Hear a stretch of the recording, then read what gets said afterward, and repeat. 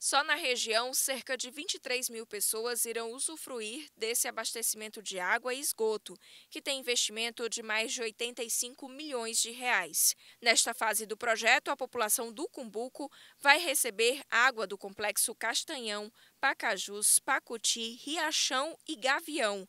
Água vinda também de sítios novos e do São Francisco. A obra terá duração de dois anos e, quando concluída, a população poderá usufruir de uma água tratada, encanada e de um esgoto de qualidade, sem oferecer nenhum risco à saúde, substituindo a atual água que é utilizada, vinda de poços, estações de tratamento específicas e de fossas, pela água da Cagesse.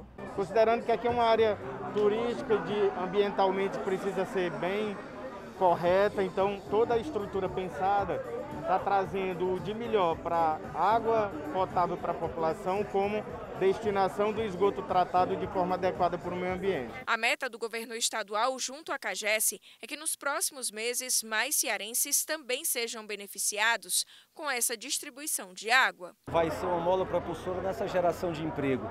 Fora que é uma questão ambiental, um local turístico não pode conviver com a falta de preservação. Então essa visão do governador, que está sendo consolidada através da CAGES, é toda a preservação ambiental, como ele bem colocou, estruturar para que o turismo seja uma fábrica geradora de emprego. Esse é o papel do Estado.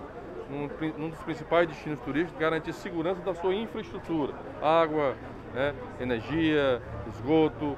E também temos uma obra importante aqui, que é a duplicação da CE 090, da Tabuba até o Cumbuco, para que a gente possa garantir que esse destino atraia mais turistas, esteja um ambiente é, adequado, bonito, agradável, com todas as condições necessárias para receber os turistas do mundo inteiro que venham aqui.